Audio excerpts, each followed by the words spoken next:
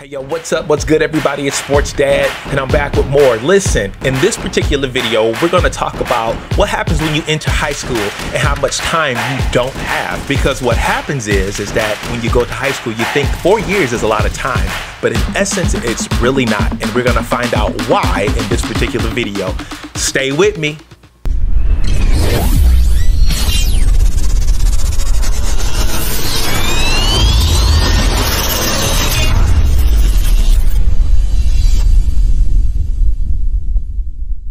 Subscribe. Hey, don't forget to subscribe and hit the notification bell so you'll be notified when I'm posting new information. So you think you have a lot of time to become acclimated in high school. You think that you have time to get your grades together. You think that you have time to goof off a little bit and then you'll get serious towards the end.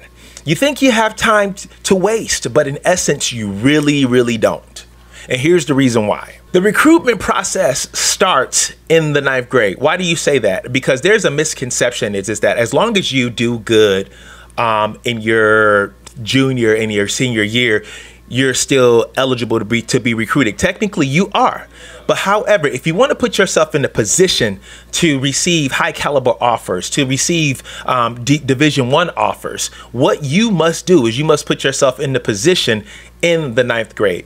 I want to kill that myth right away. If you wait until the 11th or 12th grade, you've already waited too late. Some of you think you got time for a relationship, but you really don't have time for a relationship. You don't have time to have that girlfriend because we all know what happens when you get a girlfriend. She wants to spend time with you. And so that time has to be deducted from somewhere. And most of the time, it's deducted from the time that you could be spending becoming great at your studies. Here's the reason why you don't have the time that you think that you have in high school. The 11th grade is the magic number that the colleges are looking at. And here's the reason why is because from the 9th to the 11th grade, they're figuring that, that that is enough time for a student to actually solidify himself or he or she academically. So what they do is, is that they look at your academics, your core classes. You got your English, your math, your history, your science. They're looking at those core classes to see how you've done in them from the ninth all the way up until the 11th grade, your 11th grade year. So they're taking your total, your accumulative, your core of your core GPA. They're taking your core GPA from the ninth all the way up until the 11th grade to see if you are eligible. So please understand that they're actually looking at your academics. They're trying to qualify prior to, they're trying to qualify you academically prior to you becoming a senior.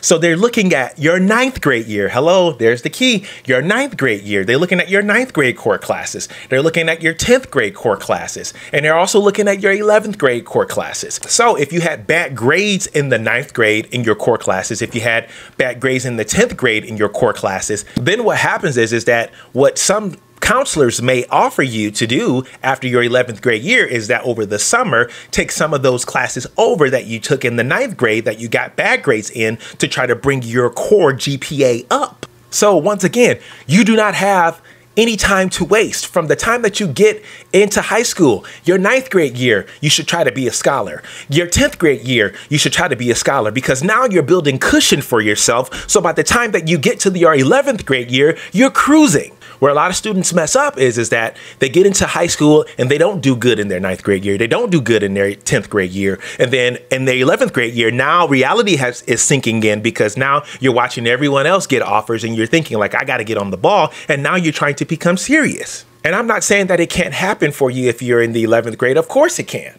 But to put yourself in the position and to get ahead of the game and not wait until the last minute, it behooves you to come out the gate kicking butt academically, or else you're to find yourself playing catch up. And it's all a benefit anyway. I challenge all student athletes to change their mindset going into high school and determine in their minds mentally that you're going to be a scholar from the ninth all the way through because they're looking at your record from when you're a, a ninth grader all the way up until you're the 11th grader trying to qualify you NCAA ready in the 11th grade. And that's how it works. And get this here's the kicker the higher your core GPA is, the less the higher your core GPA is, the lower your SAT requirement becomes.